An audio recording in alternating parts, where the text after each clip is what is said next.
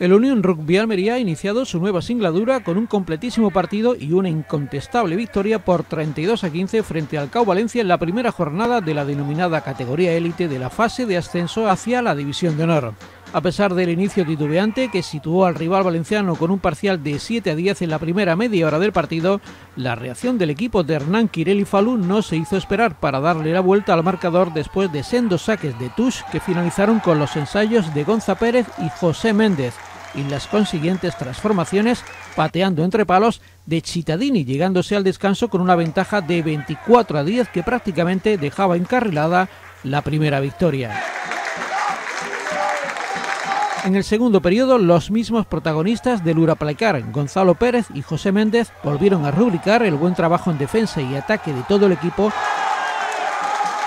para ampliar la ventaja y rubricar el primer gran triunfo de esta fase de ascenso por 32 a 15 en el campo municipal Juan Rojas. Una competición de ocho partidos que para el club que preside Miguel Palanca tendrá su continuidad el próximo fin de semana con el desplazamiento a Barcelona para jugar el domingo a las 12 del mediodía en la cancha del Club de Rugby Hospitalet, que descansó y no jugó en la primera jornada.